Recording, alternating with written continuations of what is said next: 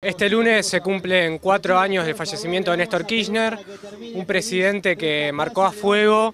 una generación que volvió a creer en la política como herramienta de transformación social, cultural, muy importante. Y lo lindo es que no lo recordamos con nostalgia, sino con la fuerza de una juventud que debate, que construye, que piensa en el futuro y que está haciendo más de 250 jornadas solidarias a lo ancho y a lo largo de todo el país. Siempre entendiendo que la patria es el otro, como dice nuestra presidenta, y el otro en este barrio, que es la 60 en Rincón de Milberg, partido de Tigre, es cada uno de los vecinos y vecinas que estaban reclamando poder tener una placita en el barrio y por eso instancias de la Subsecretaría de Juventud del Ministerio de Desarrollo Social de Nación, junto con los vecinos organizados, estamos cumpliendo ese sueño de tener una plaza en el barrio. Desde Colina venimos laburando con el Ministerio de Desarrollo Social, laburamos mucho estos barrios.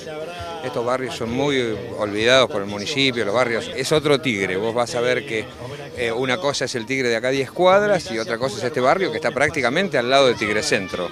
Eh, no tienen agua potable, los vecinos realmente las calles vos las vas a ver, entonces nosotros trabajamos mucho en este sector.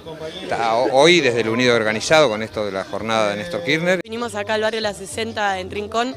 para concientizar, o sea, desde la juventud concientizar a los estudiantes que puedan acercarse la importancia de los centros de estudiantes, así también